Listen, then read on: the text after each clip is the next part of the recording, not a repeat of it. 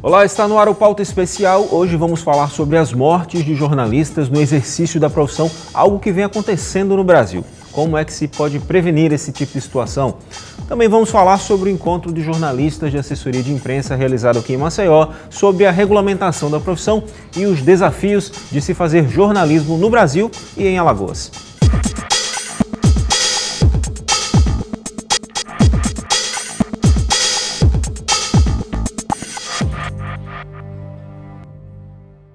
Dois jornalistas morreram na última quarta-feira durante um tiroteio nos Estados Unidos enquanto eles estavam trabalhando. No início da semana, um outro jornalista foi assassinado no México. São apenas alguns exemplos recentes, pois crimes contra jornalistas no exercício da profissão ou em decorrência dela não são tão incomuns, não. Inclusive, o Brasil é o terceiro país mais perigoso das Américas para se exercer o jornalismo. Segundo a ONG Repórteres Sem Fronteiras, perde apenas para o México e para Honduras. Sobre esse assunto, eu converso agora com Valdice Gomes, que é jornalista e membro da executiva da Federação Nacional dos Jornalistas.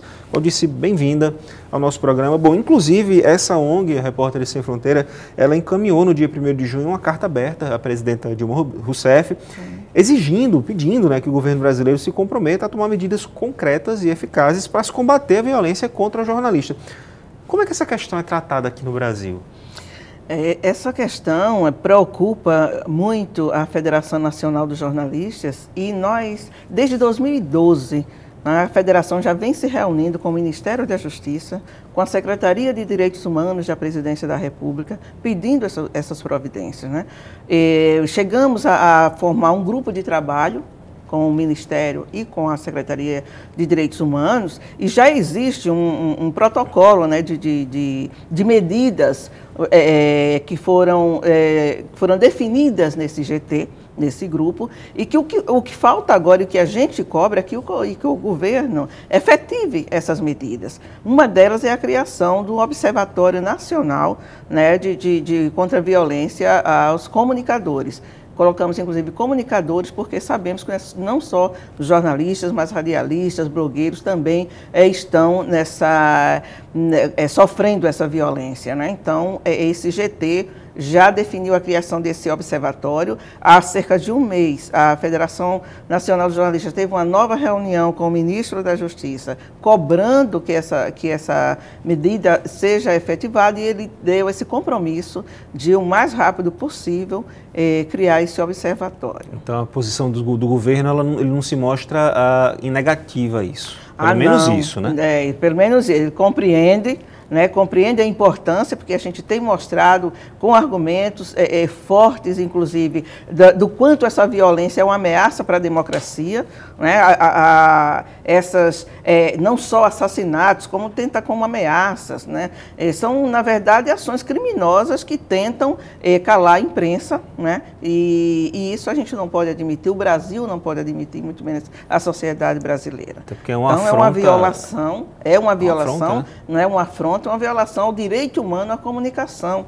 E a liberdade de e imprensa, a liberdade né, que é imprensa. importantíssimo também. É, é, é, é, importante, inclusive, que a gente, enquanto profissional, enquanto isso. entidade de classe, cobre, fique lá no pé o tempo é. todo para que isso seja, de fato, implantado, né? Exatamente. E não é só, é, é são medidas, né, esse GT, na verdade, discutiu não só a criação, mas também é preciso cobrar mais responsabilidade por parte das empresas né, na, na, enquanto a questão da segurança aos seus profissionais. Porque é preciso também que se tenha é, é, é equipamento de segurança adequado, que haja treinamento pra, para esses profissionais. Então, é preciso também que as empresas é, tenham, né, se envolvam nessa, nessa luta né, contra a violência aos jornalistas. Verdade, até porque assim, um dos mitos da profissão né, é justamente essa questão do, do super-herói, entre aspas. O repórter é aquele, aquele cidadão, aquele profissional que vai descobrir, que vai desbravar e que hum. vai se aventurar. Mas, na verdade, o jornalista é ser humano e ele precisa ter a condição claro. mínima de trabalho para não, não, não, correr risco de morte. Exatamente. No caso das empresas, é uma coisa bem comum, né? O repórter ir lá, principalmente o pessoal que trabalha com jornalismo mais voltado para a editoria de polícia, né? Uhum. Que está mesmo, de fato, no, no, dia a dia disso, o pessoal vai lá e vai sem proteção nenhuma. Isso. De modo geral, o jornalista ele não tem preparação né, para lidar com em situação de crise. É. Os próprios colegas também profissionais precisam ter essa consciência do risco que estão criando, que, que, né, que estão sofrendo e, e cobrar também cobrar, cobrar do, do, da, das empresas, cobrar da, e os sindicatos e a federação, além dessa, dessas medidas também, é, nós incluímos a criação de comissões de segurança nas redações para que essas comissões, ninguém melhor do que os próprios profissionais que vivem o dia a né, dia, né, que né? vivem o dia a dia discutam entre si os riscos que aquelas pautas é, correm e aí sim, é, junto com a, com a empresa, né, faça essa, essa definição de treinamentos, de cursos, de, de, de aquisição de equipamentos, e isso os sindicatos e a federação é, é vão cobrar para que também é, sejam efetivados, né? Então, a gente tem que aproveitar a, a época de discussão de acordo coletivo, por exemplo, e incluir essas E aí as empresas precisam estar abertas, porque o que tem acontecido é que nos últimos, nos últimos acordos coletivos, nas últimas campanhas salariais, enquanto a gente quer discutir novas cláusulas, além das econômicas, as empresas não admitem, não querem abrir a discussão para novas cláusulas, e aí fica só na questão econômica. Quer dizer, isso não pode acontecer. Tem muitas outras cláusulas, é, cláusulas cláusulas sociais e com relação à segurança que a gente pode aproveitar e incluir no acordo coletivo. E o próprio profissional precisa agir. O problema é que muitas vezes o, o jornalista ele fica ali na, sem saber direito o que fazer, porque se ele se recusa a, a fazer a pauta, ele corre o risco de ser demitido, né? Sim. Corre o risco até de ser desprestigi desprestigiado na profissão e, ao mesmo tempo, acaba se submetendo à, à questão da, da, insegurança mesmo no ambiente de trabalho, de um modo geral, Existe uma, alguma, alguma legislação, alguma, alguma regulamentação que, que obrigue a empresa a fornecer equipamento de segurança, a se responsabilizar no caso de algum acidente, algum problema? É, exatamente. Não existe ainda, né, com relação à profissão de jornalista, porque até pouco tempo não era considerada uma, uma profissão de risco. Né? Aos poucos, no Rio de Janeiro, um estado onde realmente a violência já há bastante tempo né, ela é bem é, patente. Então, na, no Rio de Janeiro já existe, é, o sindicato conseguiu chegar a um acordo com é, as empresas, pra, mas nem isso nem, não quer dizer também que cumpram, né? mas existe.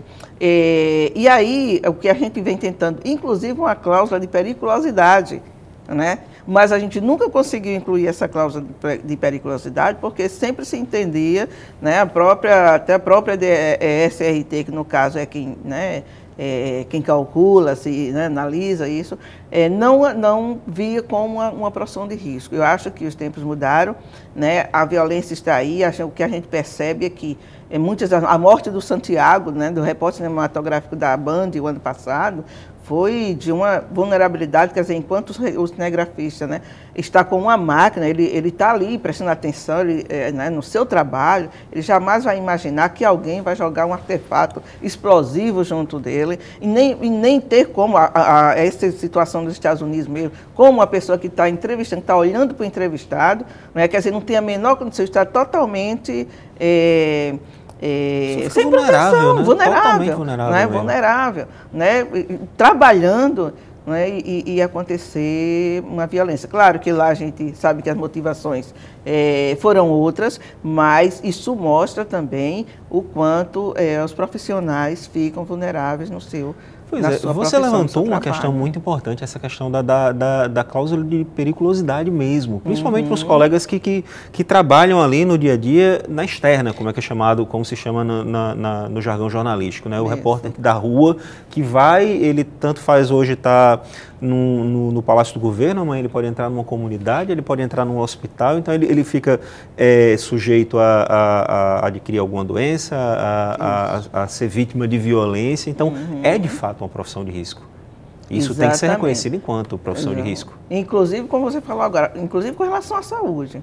Né? Nós já tivemos colegas de, de, de, de ser contaminado com bactérias, porque é, é, quando você vai para uma pauta, você não vai deixar de entrar numa comunidade, certeza, ou num hospital, pode. ou num, enfim, na área que você vai fazer a cobertura, né? É, pensando se você vai é, correr um risco ou não. Você, você quer fazer, cumprir a sua pauta. Né? Você quer cumprir a sua pauta.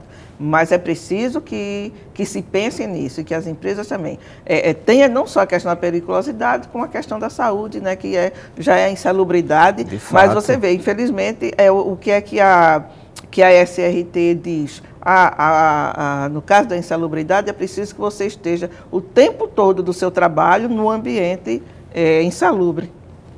Então, como o jornalista, ele, ele, claro, ele passa, ele está naquele momento que ele está fazendo a entrevista, né? Exato, nem sempre então, ele está no ambiente insalubre. Nem sempre ele está. Então, essa é uma dificuldade, mas que a gente vive tentando reverter né, para que é, esses profissionais tenham realmente o direito, tanto à periculosidade como à insalubridade. É porque você, enquanto, enquanto, repórter, principalmente, você se arrisca a partir do momento que você entra no carro e sai para uhum. ir para a pauta, uma perseguição policial, um acidente Exato. de trânsito.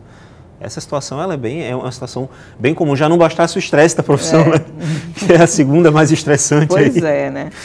A gente, a gente espera, inclusive, é que os, os, os, colegas tenham essa consciência e aí sintam o quanto é importante a entidade sindical, a sua entidade sindical, e o quanto é importante ela estar é, fortalecida. E ser fortalecida é ter a presença do, do né, e o apoio dos colegas, dos profissionais, para que as empresas sintam que o sindicato tem aquele respaldo. De fato, a entidade sindical fortalecida ela vai chegar e vai agir justamente no lugar daquele jornalista que fica fica sem saber uhum. o que uhum. fazer na situação. Exatamente.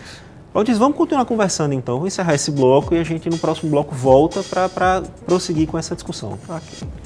Bom, então a gente continua daqui a pouquinho o nosso bate-papo com a jornalista Valdice Gomes. Até já.